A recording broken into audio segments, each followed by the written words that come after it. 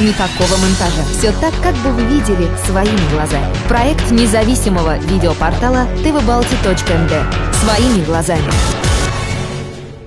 Уважаемые коллеги, мы находимся в стенах теоретического лицея имени Дмитрия Кантемира на методическом ателье. Вы хорошо знаете, что в современном мире растет потребность в э, развитых, грамотных людях. Профессиональные деловые контакты, межличностные взаимодействия требуют от современного человека универсальной способности к побуждению э, высказывания, различных высказываний, как устной, так и письменной речи. И кому, как не нам, развивать эту речь, кому, как не нам, готовить будущего э, ученика будущей профессии. Я думаю, что именно с этим и связана сегодняшняя тема нашего методика практического ателье.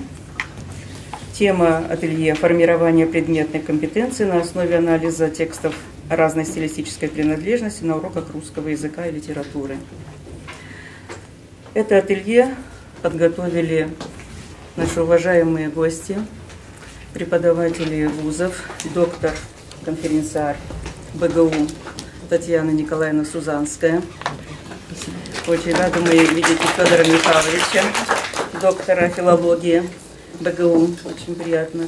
Ну и, конечно же, рабочая группа в составе председателя методической комиссии учителя русского языка и литературы Пирог Маргариты Федоровны и Максимчук Галина Александровна, учителя русского языка этого лицея. Мы рады приветствовать вас наш лицей. И я очень надеюсь, что сегодняшнее ателье будет плодотворным, будет нужным, потому что ради этого и делаются такие мероприятия. Наши коллеги очень постарались, чтобы мероприятие было на высоте, а уже как получилось, вы сами скажете. Для того, чтобы у нас э, солнышко засветило, для того, чтобы никакая пасмурная погода не повлияла на наше э, настроение, я вам предлагаю начать с небольшой улыбки. Я прикоснусь к этому солнышку и передам вам частицу этого света, этой радости и этого раскрепощения.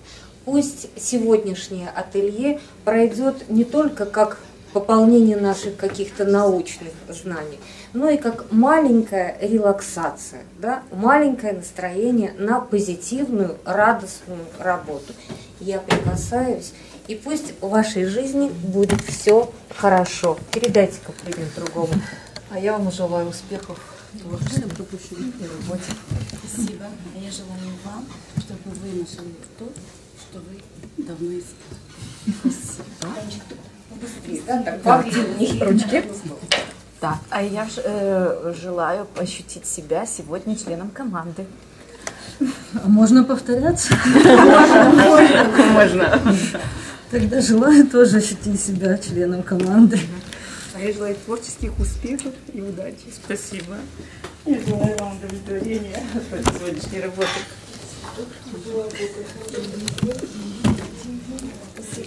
Желаю успехов в работе, труде. Спасибо. Взаимопонимание с учениками и коллегами. Вам благополучия наилучшего. Спасибо. Душевного равновесия, удачи, успехов в жизни. Спасибо. А вам побольше творчества. А я скажу словами Акуджавы. Как здорово, что все мы здесь сегодня собрались. Ателье это секция, да? Да. я понимаю, да? Да. Да. Насколько это заседание секции и так далее. Ну что можно пожелать секции? Чтобы она селектировала умные знания, обыгрывая паронимы, но и была полезна для вас с точки зрения практической и теоретической. Спасибо. Добрый путь. Тему нашего сегодняшнего ателье – это формирование предмет- предметной компетенции на основе анализа текстов разной стилистической принадлежности на уроках русского языка и литературы. Литература э, с точки зрения Дмитрия Сергеевича Лихачева придает нам обширный и глубочайший опыт жизни. Она, во-первых, делает человека интеллигентным, во-вторых, развивает в нем не только чувство красоты, но и понимание всех сложностей жизни, в-третьих, служит нам проводником в другие эпохи, к другим народам, в-четвертых, раскрывает перед нами сердца людей, одним словом, делает нас мудрыми. Я не знаю, как сколько раз будет меняться куррикулум, я не знаю, как часто будут меняться программы, но я знаю одно, что мы, люди, преподающие литературу, всегда будем внести себе вот это желание научить детей думать, научить детей по-настоящему жить. И что бы в мире ни творилось, наша, наш предмет, на мой взгляд, является самым главным. Мы начинаем проведение небольшого тренинга. Достаньте, пожалуйста, листы, где написано слово тренинг. Тренинг. Вопросы к тренингу. Значит, как мы будем по группам работать, да? Или по желанию? По желанию. По желанию, хорошо. Значит, первое задание такое. Значит, общая цель тренинга. Мы повторяем сейчас систему компетенций, вообще школьных компетенций, предметных, беспредметных, ключевых. Во всяком случае, первых двух темах, там, где речь идет о грозе и о отцах и детях, то там, конечно же, предметные компетенции, Конечно. безусловно. А там, где мы говорим о теме счастья, то, скорее всего, будет, ну, в свете нашего законодательства ключевое одно из них это подготовка э, к, к жизни Личности. Да, вот, да, вот в дальнейшем. Абсолютно да. Заказ общества. Значит, третья тема, как свободная, она, безусловно, ориентирована на формирование ключевых компетенций, на то, чтобы человек был счастливым, был личностью, здоровым, в общем-то, полноценным человеком в обществе. И две первые темы ориентированы прежде всего на формирование предметных компетенций, по крайней мере, их формулировки. Ну, Есть какие-то другие мнения? Нет. Это абсолютно правильно. Значит, второе задание.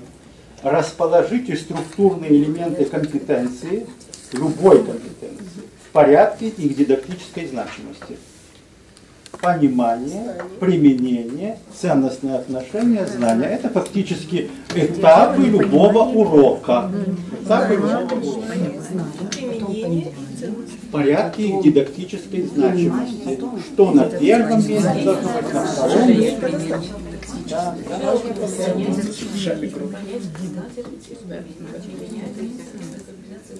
Них есть лидеры. Знать, понимать, знать. Алена Да. Алена Александровна.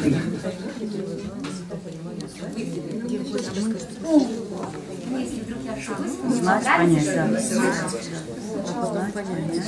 Знание, Потом применение, понимание, потом применение, ценностные отношения. Да? Правильно.